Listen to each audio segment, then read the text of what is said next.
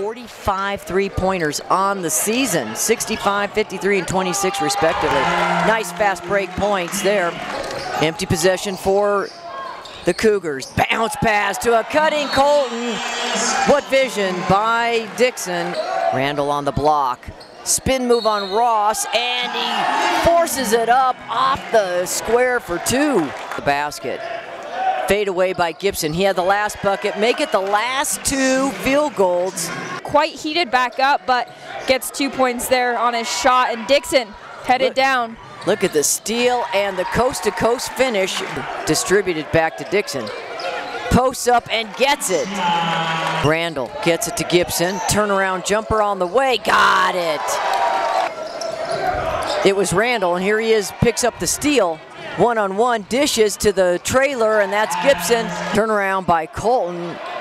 Can't get it to go, but gets a second chance. This one off the glass. 38 to 32. First 20 minutes are in the books. Well, and the scout on CCU, you know they're going to throw up a bunch. And Langston does the equalizer. And a huge block from Gibson. And a quick three-point launch by Langston, and he got it.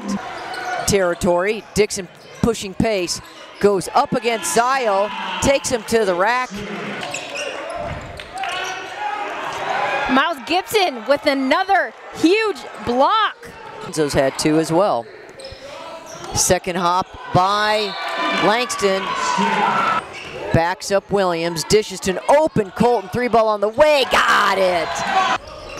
Langston, well maybe not for long. Langston saw an opening in the lane and he takes McDonald to the paint.